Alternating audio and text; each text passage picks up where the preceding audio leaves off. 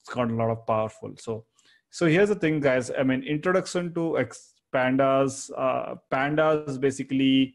Um, oh yeah, that's that's very nice. Uh, anyway, so coming back to pandas now pandas basically whatever we can do on excel right ideally we should be able to do it on on a platform like python and uh, pandas is that library that basically helps you uh, do that particular stuff much more even better than excel. Right now the only difference that you're going to get from excel and pandas is the ability to have it visually visible to you right? It's not that ed is going to be completely code. Imagine doing excel completely with code right? So that's what uh, the pandas is right? And uh, there are you know i've been an excel user for like 10 years and then uh, the kind of things that pandas can do um, uh, much more quicker uh, than excel uh, will surprise you right? It, it only can surprise you right? So if you're able to will if you're willing to learn that way and then uh, adopt pandas as a default you're going to enjoy doing data science um, and be like the quickest guy on the block to do manipulate data right? So pandas is so much important there right? So we're going to cover series now all, uh, the numpy arrays uh, and all that that we list all that we cover within uh, what we say within um, numpy was one piece but within pandas we basically refer to series right? So whatever list or arrays we have is going to be referred to as series. Now within pandas they're going to be little different but however pandas is built on on top of numpy. So you're going to see some similarities there but um, the difference is that you know we're going to reference panda libraries wherever and then whenever we are referring to a, a, single dimension array or a list within pandas it's going to be called a series right? So that is one piece of it. Now a lot of lists and arrays that we have seen from different packages or by default within uh, python right they will be available but you know to to be usable in pandas we should be able to convert it to a pandas series right? So a lot of codes uh, that we're initially going to look at is going to be around how do we take the elements from outside different libraries and then convert it into a series or a data frame within pandas right? So then it becomes a data frame for us to be reused right? So uh, we're going to see a lot of those elements uh, that are there and then we're going to see data frames we're also going to do missing data um, you know uh, codes you know group by codes now, can anybody tell me what is group by um, within Excel? Any any references to what group by uh, will be within Excel? I will tell you a hint. It's in the Insert tab. Yes, pivot tables exactly.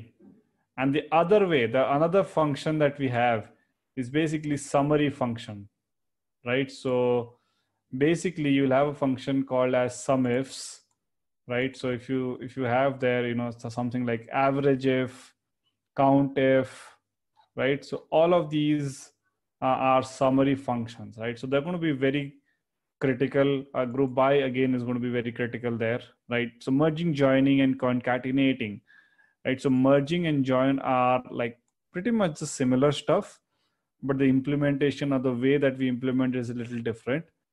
Uh, concatenating is basically you know placing one data uh, below each other, right? Above, um, you know, below each other. So if you have a data set and you want to you know place one, two of these data sets one below the other, that's where we'll be doing it, right? So that's that's the premise in which we have. Then we have operations like what can we do with two different data frames and what can we do on top of it and then input and output here right rather i'm just going to begin with the input and output uh, that should be the first step and then we'll we'll basically do the rest of the things here right so i'm just going to be referring to this document right now that is uh, uh, it's called a data input and output right? So can you all just open that that piece first? And then i'll just show you some quick examples and then um, uh, uh, we can move on to the next topic there.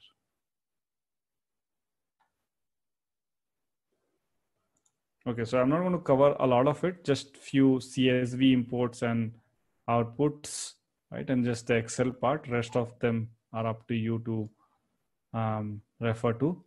So basically we have this import numpy as numpy, import pandas as PD, and we can basically import it um, just like how we did for numpy. We have now pandas as PD, right? And then if you want to import a particular CSV file, what you can say is you can you, you can basically have a variable name called uh, called as data frame, and then we say pandas dot read underscore CSV example, right? And this particular example um, will be available here, right? So this is the Excel file that I want to import.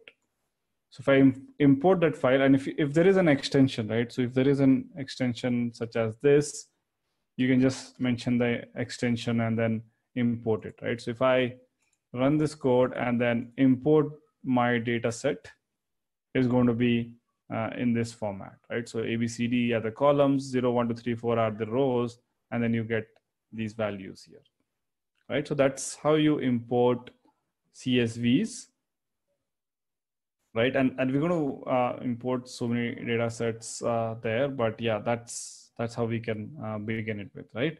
And then we also have, if you want to export certain elements, right? So what you can say is take the data frame and then say to CSV, right?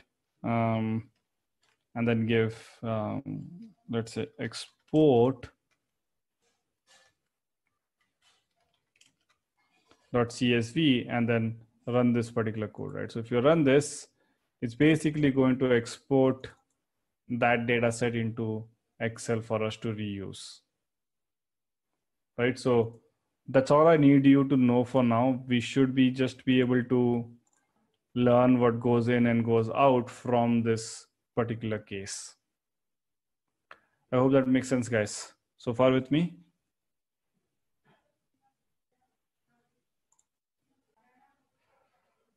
So index is equal to false. Uh, so if you basically uh, remember that 0 1 2 3 4 5 6 uh, i mean uh, the the the indexing ways of selecting it right so if you do this what it does it uh, is basically gets this index 0 1 2 3 right? So we don't want this so instead of deleting it here we just say index is equal to fall and false and then it basically just exports the data set itself.